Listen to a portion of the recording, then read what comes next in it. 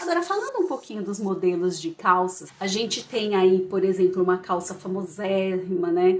Que é a calça flare, a famosa boca de sino, que tá aí ó, há muito tempo e ela não sai, é uma calça muito bonita. É uma calça um pouco mais formal, tá? Do que as outras. É, ela veste muito bem, tá bom?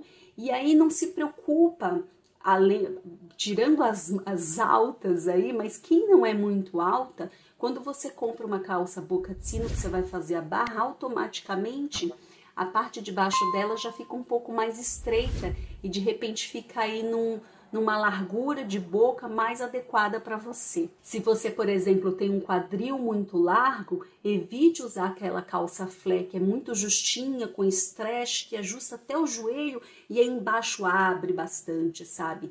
Prefira já a calça reta, olha só, ela desce reta. Como você já tem curvas, então a calça reta vai valorizar muito mais o seu corpo do que a calça flare. E aí a gente tem essa calça que vem com tudo, que é a, a, a mom jeans, que é tipo, quem é do meu tempo, gente, quem usou a calça bag? Eu usei a calça bag, sim, gente, acho que é nos 80. E olha que bonito, olha que sofisticado.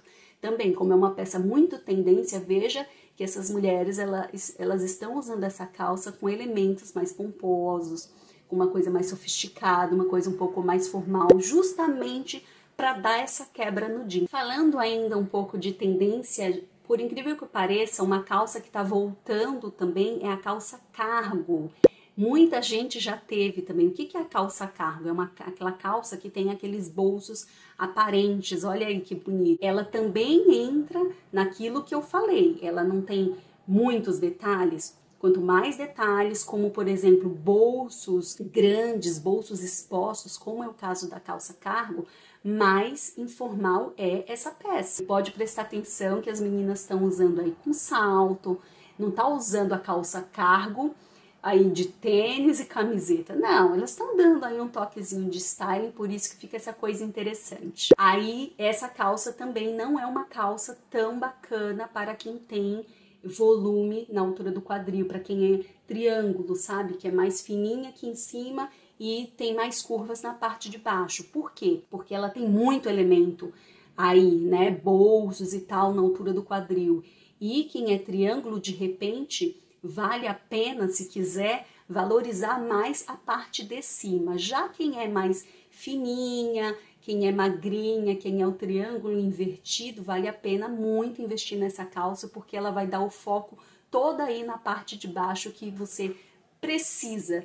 Não se você precisa, se você quiser, dá. Agora vamos falar de uma que veio e que ficou e tá aí, ó, muita gente tem, que é a calça skinny. Por que será que todo mundo gosta da calça skinny? Não é todo mundo, mas muita gente tem a calça skinny no guarda-roupa. Gente, é óbvio, não é porque ela é linda, maravilhosa, é porque ela é confortável. Primeiro que a maioria vem com stretch, né, na composição, então ela é confortável ali para usar, ela é mais maleável do que uma calça que não tem stretch. Segundo, que você não tem aquela preocupação em fazer a barra, por quê? Porque ela para ali no tornozelo então é facinho de usar. Ai, Lu, mas não pode usar calça skinny? Pode usar a calça skinny, mas ela não é a melhor calça para a maioria, ela não valoriza o corpo. Gente, a gente pode absolutamente tudo. Você tem que usar o que você gosta, o que você se sente bem. A minha missão aqui é te trazer informações para você então saber se vale a pena postar ou não, tá bom? Mas falando da calça skinny, o que, que acontece com ela? Por exemplo, se uma pessoa que tem bastante volume aqui na parte de cima, ela tem a sensação de que colocando uma calça jeans com uma camiseta mais folgadinha, dá uma certa segurança, uma falsa segurança. Ela se olha de cima para baixo e ela vê que tá tudo justinho, nossa, tô arrasando, mas se ela se olhar no espelho de corpo inteiro, ou alguém que esteja olhando ela, ela vai ver que a proporção do corpo dela evidencia ainda mais o triângulo invertido. Ela fica ainda com mais volume aqui na região do tronco e a calça skinny provavelmente inclusive vai ser um pouco mais escura do que a peça que ela tá em cima. ela vai ficar assim, como se fosse um conezinho de sorvete. Então não te valoriza, toma cuidado. Ah, mas eu não posso usar? Pode usar sim, se é uma coisa que você gosta, tenta compensar. Quando você tiver com uma calça skinny, uma calça skinny, então coloca algum detalhe aqui no centro para chamar atenção para o centro e desfocar um pouco aqui seus ombros que de repente são mais largos. E aí criar uma proporção mais equilibrada com a sua calça skinny. E aposte em peças mais escuras também na parte de cima para também dar esse equilíbrio. Um detalhe que as calças estão tendo aí em comum de uns anos para cá, você pode perceber que elas têm a cintura um pouco mais alta, uma cintura de média para alta. Eu prefiro a calça de cintura média, que é a cintura no lugar ali, na altura do seu umbigo, tá? Porque quando a gente fala de cintura alta, já vira tendência. Então você gasta aí uma grana numa calça jeans com cintura alta que daqui a seis meses não tá usando e você vai olhar para a calça e não vai ter vontade de usar. A verdade é essa. Mas então eu prefiro a cintura média ali que eu vou ter no guarda-roupa. Quando você tiver as clássicas, você procura essa que é tendência, tá? Agora, se você nunca mais usou a sua calça jeans, nem sabe como ela tá, corre, vai no seu guarda-roupa e veja se ela não tá com uma modelagem aí um pouco ultrapassada.